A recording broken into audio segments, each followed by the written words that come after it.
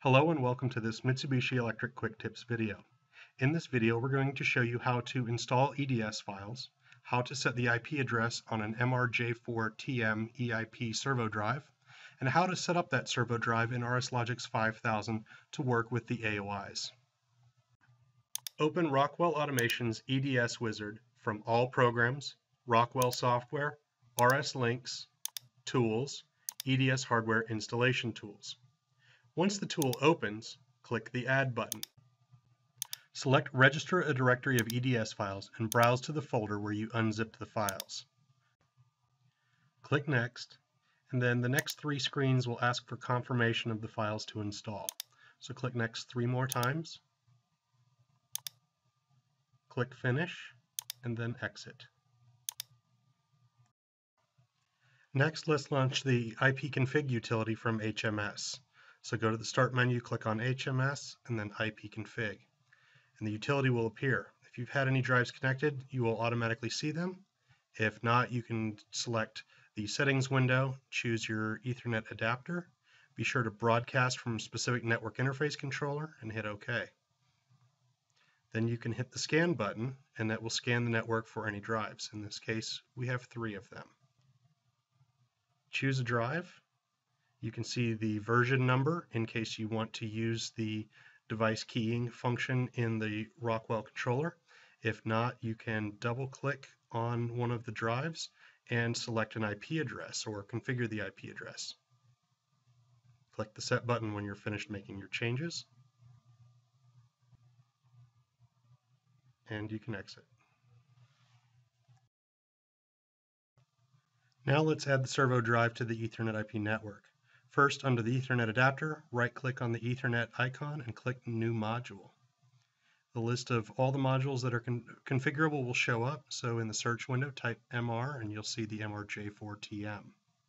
Then type a unique name for the axis in the box. In this case, we're typing MRJ4TM1 and then choose private network and enter the IP address of the servo drive you want to communicate with. Next, click the change icon down at the bottom, and you can either set the revision to match what was shown in the ipconfig utility, or in this pull down, you can choose disable keying, and I recommend that because now you don't have to look at the revision number for each drive. Commit the changes with yes.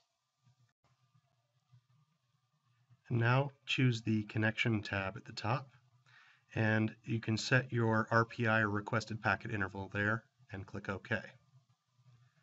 Then hit close and your drive now shows up under the Ethernet IP interface it's attached to.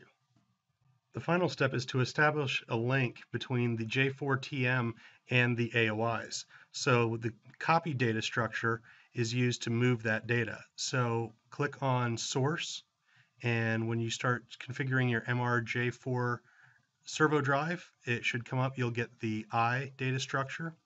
Click the plus and choose data zero for that. And we have to do the same again on the copy uh, instruction. This is going to copy to the servo drive. So again, click on destination, start typing your servo drive name or choose it from the list and this time choose the drive name colon O. The length should be 1.